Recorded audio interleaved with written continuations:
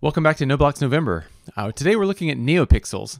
This is a really great peripheral you can add to your projects. They're super bright and colorful, and you can get them in lots of different configurations with different numbers of pixels.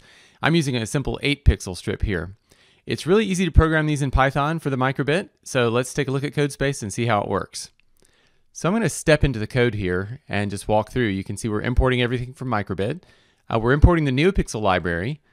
I'm setting my number of pixels to 8 and then I'm creating the NeoPixel object, dropping into an infinite while loop, and then as I walk through, it's going to clear and it's going to set the pixel object to the right color. This is red, green, blue, so this should be a green. Uh, 255 is the brightest, so 100 is what I'm setting. And you notice the pixel did not turn on until show is called. Now we see one pixel. Now we're going to sleep for 100 milliseconds, and the for loop that's going through each one of my pixels continues there. So you can see it continues stepping through as we step through the code. And let's just go ahead and let it run.